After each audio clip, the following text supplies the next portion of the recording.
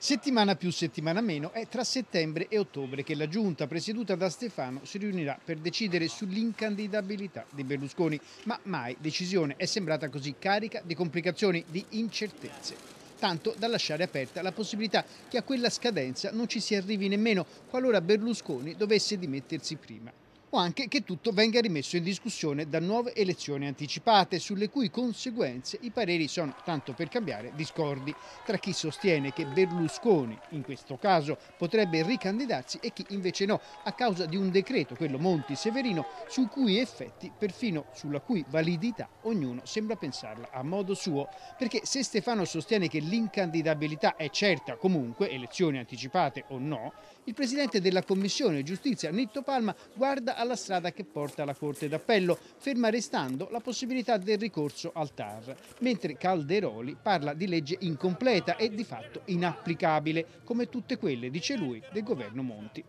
è probabilmente per mettere un freno al lievitare di questa massa pericolosa di congetture, avvertimenti, veti preventivi che il presidente napolitano avrebbe deciso di mettere qualche puntino sulle i, nel senso fornire alcune valutazioni che poi di fatto sarebbero le prime, fare il punto sulla situazione, separare ciò che si può fare da ciò che non si può fare per sgombrare almeno il campo da soluzioni giudicate per una ragione o per un'altra impraticabili, tra cui la grazia potrebbe essere la prima della lista perché qui è come con il classico canyon dei film western, un canyon del quale si deve per forza di cose passare, con due schieramenti PD e PDL che per quanto parlino di politica e giustizia come di strade parallele e indipendenti non sono mai parsi così vicino al corpo a corpo, con Letta nelle difficili e disagiate vesti di mediatore.